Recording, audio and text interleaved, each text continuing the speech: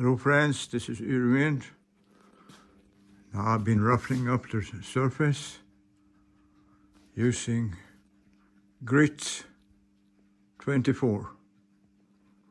Well, and I've been cleaning it with acetone and on the hull is peel ply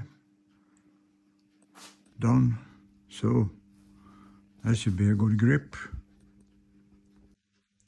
So here I'm doing the angles. And this is 11.3 degrees. And this is 60 millimeters up and 80 down.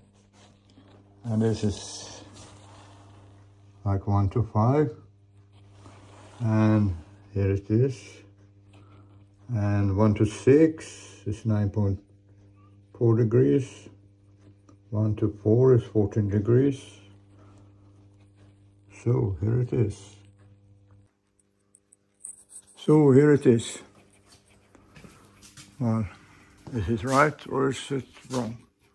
I don't know. I'm just guessing. No one has done this before. And uh, so I put it about in the middle where it's not so much curvature and uh, like 11 degrees heeling out. So it's good. So it's not so much force on it when it's standing up. And I'm usually sailing the boat to windward about 10 15 degrees. And uh, well I just don't know. But like on the model, I got four sails. So I can adjust the center of the sail area. And that's a good thing. So preparations are done. And the keel's in place. and here on this side, it's like this. So, ready to go. Hello again. Now it's later than before, and the work is done for today. Sometimes the devil is wrong to making mischief. Sometimes there is an angel giving a helping hand.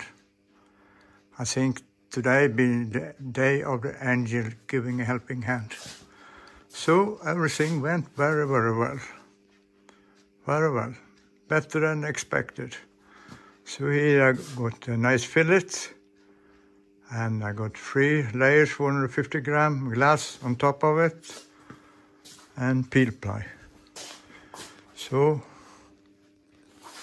now going to take it away, and next step is the inside.